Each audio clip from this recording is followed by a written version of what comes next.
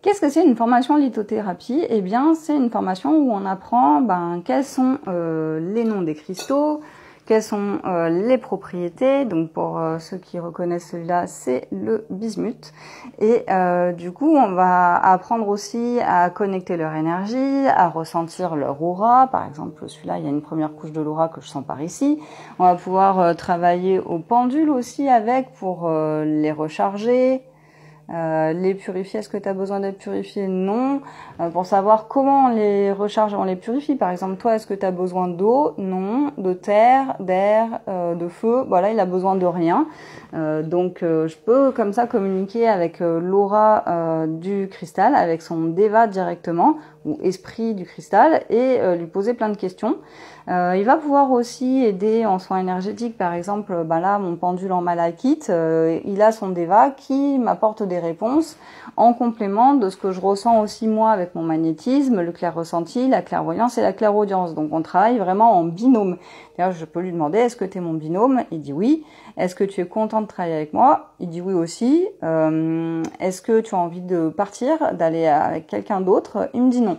Donc tout va bien. On est encore compatible à 100%, je pense. Du coup, je peux lui demander quel est notre taux de compatibilité. Et sur mon cadran qui va de 0 à 100 comme ça autour de ma main, on est bien directement allé sur le 100. 100%. Donc ça, c'est des petits exercices que vous pouvez faire avec euh, les dévas euh, des cristaux quand ils sont dans les pendules. Ça ne marche pas du tout, un pendule en métal, ça ne permettra pas de faire ça, évidemment.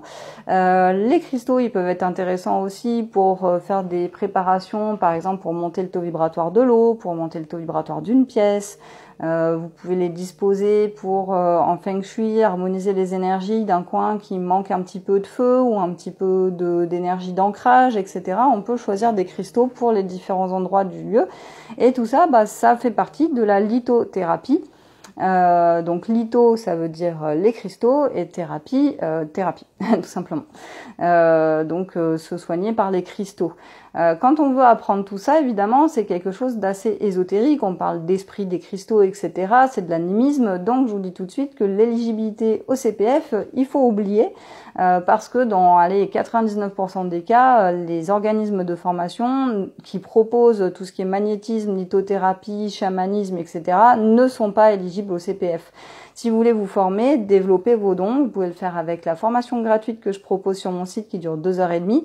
Vous pouvez le faire avec des ateliers comme le pendule, la radiesthésie, la médiumnité, le module sur les cristaux, mais euh, vous n'aurez pas d'accompagnement CPF avec moi. Et donc je vous laisse regarder dans la bio la formation offerte. À très vite.